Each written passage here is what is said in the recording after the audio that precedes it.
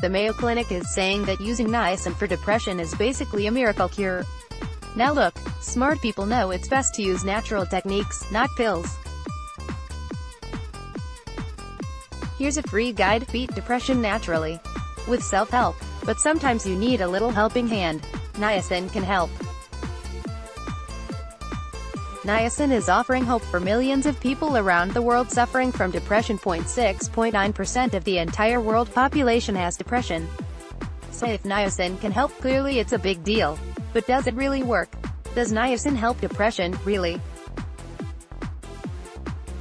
Odds are that one of two things are true for you. Either you have depression or you know someone who has depression. Read How to Help Someone with Depression. Are you yourself have depression at the moment? Hey, we've been there, you will get through this, and we here at the Daily Meditation are here to help, so there is a very good chance that you have a personal stake in this. And if niacin does work for depression then it could probably make a big difference in the lives of pretty much all of us. So does niacin treat depression effectively? What is niacin supposed to do? Niacin is vitamin B3 and is a water-soluble vitamin. What separates niacin from other vitamins is that it naturally helps people to quickly get to sleep at night. Another option is to use mantras to help you sleep, that's huge because insomnia is a leading cause of depression. And, depression is the leading cause of insomnia.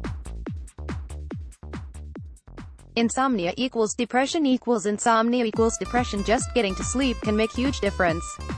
You can read more about this on the National Sleep Foundation. Niacin also lowers cholesterol. According to Abram Hoffer, MD, PhD, niacin elevates good cholesterol and decreases the good-bad cholesterol ratio. This is also very important because there is a natural link between cholesterol and depression, which you can read about on Psychiatric Times. But these are not the only ways that niacin helps with depression.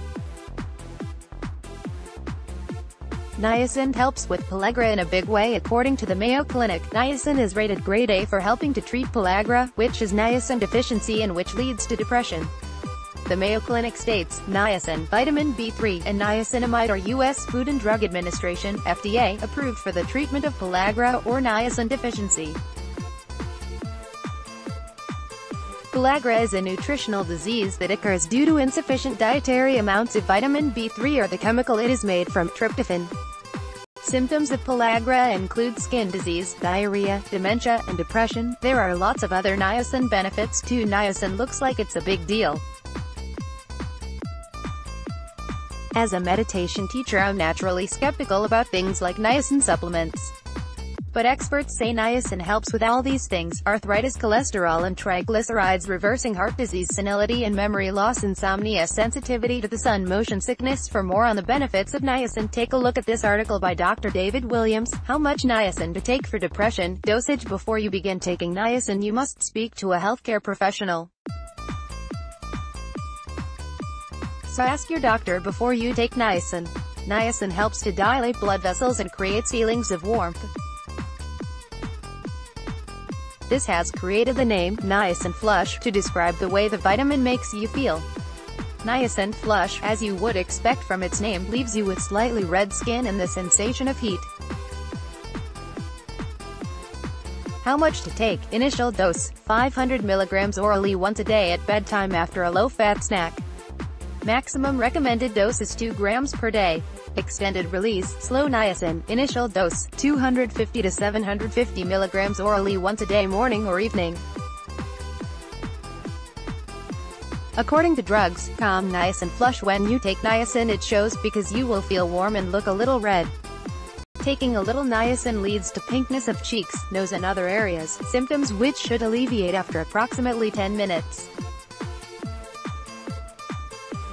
Taking large amounts of niacin on an empty stomach is not recommended and will lead to pronounced and prolonged flushing. When taking in large doses, the flush lasts longer, says Dr. Hoffer. With each dose the flush decreases and in most patients becomes a minor nuisance rather than an irritant. Common side effects of niacin insomnia. Warmth, redness, or tingly skin.